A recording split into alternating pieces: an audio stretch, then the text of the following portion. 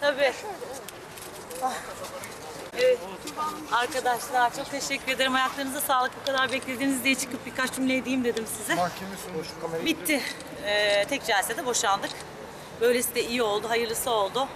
Çok e, mutluyum gerçekten. Neslihan Hanım, Neslihan Sezgin avukatım sağ olsun çok ilgilendi. Kadın dayanışmasıyla bu işi bitirmiş olduk.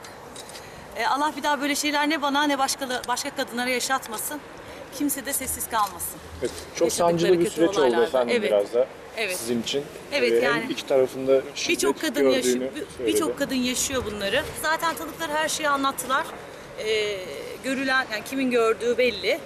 O yüzden e, çok da fazla aslında söyleyecek bir şey yok. Uzatıp da daha fazla kimseyi de deşmek de istemiyorum. E, işime odaklıyım. Her şey çok güzel olsun. İnşallah artık yüzüm gülsün. Hepimizin yüzü gülsün. Bütün kadınların yüzü gülsün inşallah diyoruz. Değil Rahat bir mi? nefes aldınız mı peki? Aynen. Evet yani bo- boşanmaya deyince, boşanmasına karar verildi deyince gerçekten çok rahat bir nefes aldım. İnşallah bundan sonra işime gücüme kanalize olabileceğim daha çok. Kendisi katılmadı sanırım. Evet, yurt dışında sanırım. Davadan evet. önce peki sizlerle bir konuşma geçmedi. Olmuştu daha önce, onlar geçti gitti. Hiç e, konuşmuyoruz da zaten konuşmak da istemem.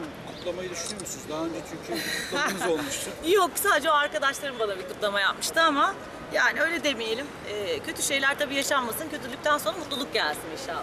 İnşallah. Çok teşekkür ediyoruz. Peki Sağ. Deniz Akkaya'da da bir davalık süreç vardı Evet efendim. o da var. Neslihan Aynen, onu da o da takip ediyor. devam ediyor. Devam ediyor. Açtık davamızı. Hem tazminat hem de Cumhuriyet Savcılığına suç duyurusunda bulunduk. Peki Tuğba Hanım bundan sonra evliliğe nasıl bakıyor? Niye bak inşallah iyi bir iyi bir şey iyi bir şey olursa iyi biri olursa neden bakmayayım yani. Ben de bir evlat sahibi olup yuva kurmak isterim herkes gibi. Ama kısmet bu işler. Temkinli mi olacaksınız artık? Bilmiyorum artık çok şey yapmayalım arkadaşlar. Vallahi sizi kırmamak için çıktım. İnanın biraz da böyle şeyim yani. Peki, Başka zaman sohbet ederiz uzun uzun. Deniz Akkaya bir özür diledi mi sizden bu Yok, yok, konuyla özür alakalı? falan dilemedi. Bir aradı mı gönlünüzü Yok almak yok için? hiç öyle bir şey yok. İşte özür dilemedi. Ee, zaten de yargı süreci devam ediyor.